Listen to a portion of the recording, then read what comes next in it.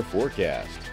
Nice and spring-like late this afternoon. A little sun out there after the showers. Temperatures mid 70s, and we're only going to be going up over the next couple of days. Tonight, temperatures dropping down into the mid 60s as the showers that we see across the area gradually diminish. We're seeing showers in Acadia, Jeff Davis Parish, up through Allen Parish. Most of us, though, relatively dry, and seeing a little dull sunshine out there this evening. And as we take a look at our predictive radar, all should be quiet by 9 o'clock tonight, and it should be a quiet night cloudy night, mild night, and some fog moving in through tomorrow morning. So keep that in mind. So a mild night ahead, 64 the low. Some sea fog moving in from the coast through daybreak. Uh, rain chance 20% mainly over the next few hours. Thereafter should be quiet. Then tomorrow, mostly cloudy, breezy, and warmer day, we think. Today we hit 77. So tomorrow, how about 78? A few intervals of afternoon sun as well, and rain chance down to 10%.